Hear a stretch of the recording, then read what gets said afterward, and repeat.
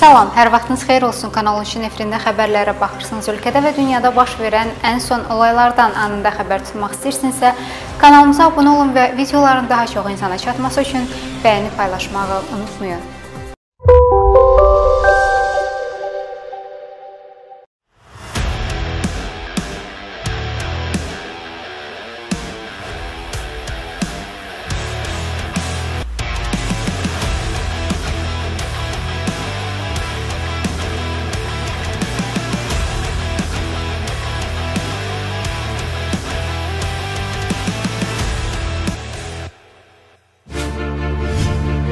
İşğaldan azad edilmiş ərazilərin mina və digər partlayıcı vasitələrdən təmizlənməsi, erməni hərbi birləşmələrinin geri çəkilərkən atdıqları silah-sursatların yığılması üçün daxili işlər orqanlarının əməkdaşları tərəfindən görülən zəruri tədbirlər uğurla davam etdirilir. Daxili İşlər Nazirliyinin mətbuat xidmətindən verilən məlumata görə tərk edilmiş hərbi mövqelərdə 2021-ci il ərzində ərazi polis orqanlarının əməkdaşları tərəfindən 225 avtomat 102 qumbar atan, 68 pulemyot, 64 tank və piyada əleyhinə idarə olunan raket sistemləri, 10 minaatan qurğusu, 8 hava hücumundan müdafiə sistemləri, 721 qumbara, 129 mina, 10 minlərlə müxtəlif çaplı mərmi və patronlar aşkar edilərək aidiyyatı üzrə təhvil verilib. Keçirilmiş tədbirlərlə işğaldan azad edilmiş ərazilərdə yabani halda bitən 17 tona yaxın çətənə bitkisi yandırılaraq məhv edilib.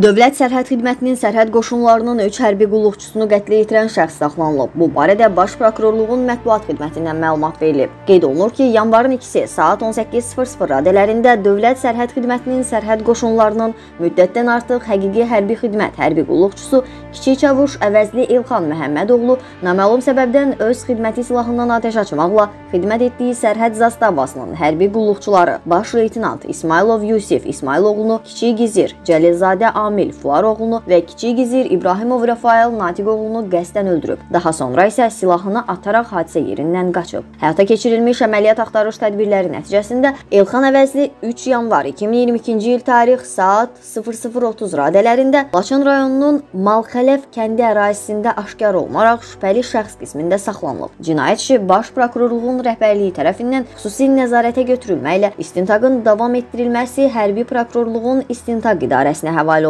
Hazırda hadisənin təfərrüatlarının müəyyən edilməsi istiqamətində intensiv istintaq hərəkətləri davam etdirilir. İstintaqın gedişi barədə əlavə məlumat veriləcək.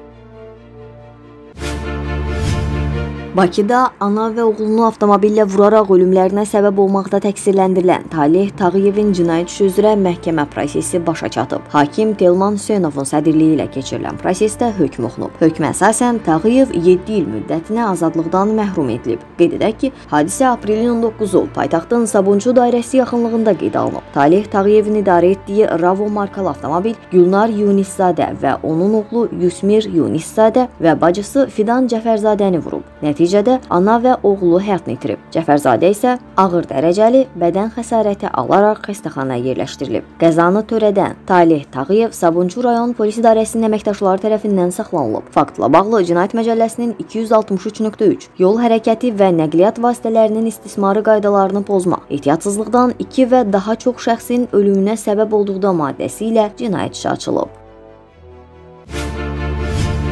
Azərbaycanda 2022-ci il üzrə kişilərin və qadınların pensiya yaşı açıqlanıb. 1 iyul 2021 və 30 iyun 2022-ci il tarixində kişilərin pensiya yaşı 65 il, qadınların pensiya yaşı isə 62 il 6 ay olacaq. 1 iyul 2022, 30 iyun 2023 tarixlərində isə kişilərin pensiya yaşı 65 il, qadınlar üzrə isə 63 il olacaq. Qeyd edək ki, əmək pensiyaları haqqında qanunun 7-ci maddəsində nəzərdə tutulmuş kişilərin yaş həddi 2017 2017-ci il iyulun 1-dən başlayaraq 2021-ci il iyulun 1-nədək, qadınların yaş həddi 2017-ci ilin iyulun 1-dən başlayaraq 2027-ci ilin iyulun 1-nədək hər il 6 ay artırılır. Əmək pensiyaları haqqında qanunun 7-ci maddəsinə əsasən pensiya yaşına çatmış şəxsin fərdi hesabının sığorta hissəsində qeydə alınmış pensiya kapitalı əmək pensiyasının minimum məbləğindən az olmayan pensiya təminatına imkan verdikdə sığorta stajından asılı olmayaraq bu pensiya təminatına imkan vermədikdə Ümumilikdə isə azı 25 il sığorta stajı olduqda yaşa görə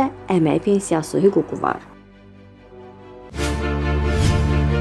Bakı Ağır Cinayətlər Məhkəməsində qanunsuz silahlı birləşmənin tərkibində iştirak etməkdə təqsirləndirilən Mənsur Cumayev və Nəsir Cahangirovun cinayət üzrə məhkəmənin hazırlıq iclası başlayıb. Hakim Azər Paşayevin sədrliyi ilə keçirilən prosesdə təqsirləndirilən şəxslərin anket məlumatları dəqiqləşdirilib. Məhkəmənin baxış iclası yanvarın 14-nə təyin edilib. Qeyd edək ki, Cumayevlə Cahangirov Dövlət Təhlükəsizliyi Xidmətinin 2021-ci ildə keçirdiyi əməliyyat istintaq tədbirləri nəticəsində həbs olunub. Belə ki, istintaqla Azərbaycan vətəndaşları 1980-ci il təvəllüdlü Cumayev Mənsur Məhəmmədəlioğlunun və 1971-ci il təvəllüdlü Cahangirov Nəsir Qaçayoğlunun ölkə hüdudlarından kənarda getdikləri dövlət dövlətin və Azərbaycanın qanunvericiliyi ilə nəzərdə tutulmayan silahlı birləşmənin fəaliyyətində iştirak etdikləri müəyyən edilib. Aparılan araşdırmalara əsasən məlum olub ki, Cumayev və Cahangirov qanunsuz silahlı birləşməyə qoşulmaq məqsədi ilə 2011-ci ildə ölkəni tərk edərək qeyri-legal yolla xarici dövlətin ərazisinə keçməklə orada fəaliyyət göstərən Səlaheddin dini ləqəbli şəxsin rəhbərlik etdiyi cinayətkar birliyə daxil olub və həmin silahlı qruplaşmanın tərkibində döyüş təlimində və əməliyyatlarında iştirak ediblər. Faktla bağlı Cumayev və Cahangirov Azərbaycan Cinayət Məcəlləsinin 12.1, 279.1 Azərbaycan Respublikasından kənarda qanunvericilikdə nəzərdə tutulmayan silahlı birləşmələrin fəaliyyətində iştirak etmə maddəsi ilə təqsirləndirilən şəxs qismində məsuliyyətə cəlb olunub və barələrində məhkəmənin qərarı ilə həbs qəti imkan tədbiri seçilib.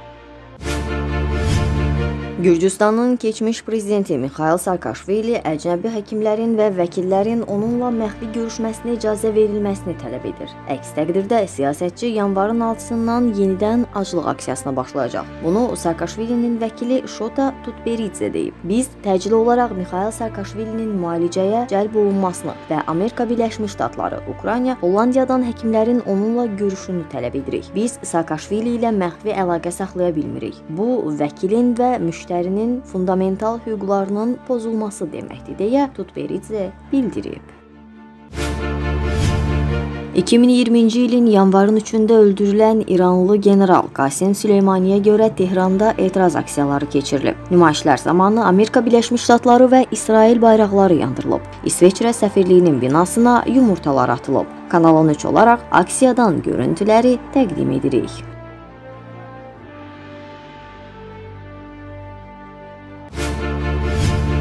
Ekologiya və Təbii Sərvətlər Nazirliyinin Milli Hidrometeorologiya Xidmətindən verilən məlumata görə, yanvarın 4-də Bakıda və Abşeron yarımadasında havanın dəyişkən buludlu olacağı, arabir tutulacağı, əsasən yağmursuz keçəcəyi gözlənilir. Mülayim cənub-qərb küləyinin arabir güclənəcəyi ehtimalı var. Havanın temperaturu gecə 3-5, gündüz 7-10 dərəcə isti, Bakıda gecə 3-5, gündüz 8-10 dərəcə isti olacaq.